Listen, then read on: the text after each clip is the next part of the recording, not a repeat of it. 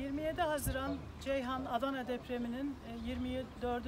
yıl dönümünde çok değerli hocam Profesör Doktor Naci Görür e, burada farkındalık yaratmak, halkı bilinçlendirmek ve belediyelerimizin alacağı önlemler konusunda Adana'mıza geldiler. E, Değerli hocam, e, 145 insanımızı kaybettik Ceyhan Adana depreminde. Burası Ali Yöner ve yeraltı su seviyesinin yüksek olduğu bir yer.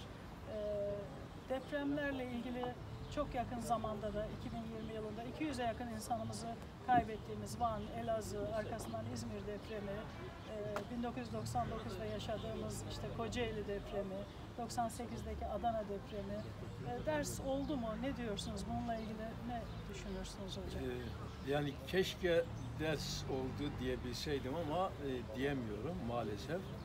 Ee, ülkemizdeki bütün deprem kuşaklarında yer alan e, yerleşim alanları e, çoğunlukla deprem güvenli değil.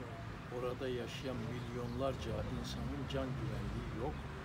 Ee, ama Adana için yani şu anda bir şeyler söylemek gerekirse Adana tektonik konum itibariyle Arap levhasıyla e, komşu bir bölgede Afrika ve Arap levhasının Anadolu levhası üzerinde ama bu hem Arap hem de Afrika levhasına yakın bir yerde.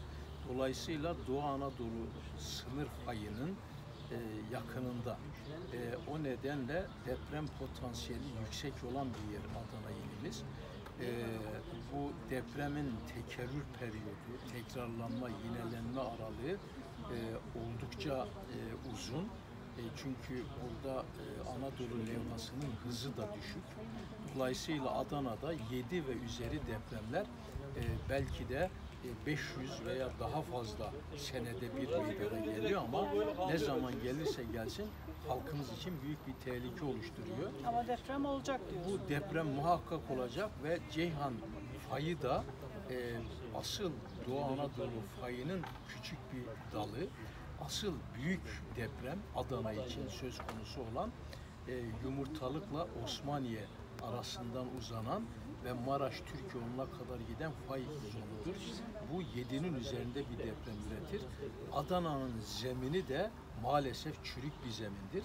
Özellikle sıfırla 30 metre derinlikte yani yapıları oturttuğu, oturttuğumuz derinliklerde zemin çürüktür ve deprem zararlarını, depremin etkisini artırır. O nedenle de Adana çok bilinçli olarak depreme hazırlanmalıdır.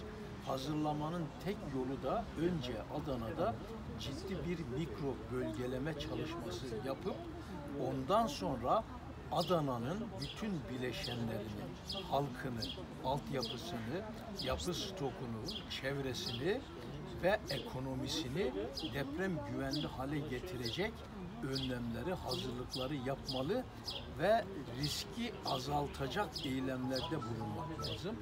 Bu iş çok ciddi ve önemli. Bunu hafife almamak lazım. Deprem böyle günlük bir olay olmadı diye bizi hiç bulmayacak dememek lazım.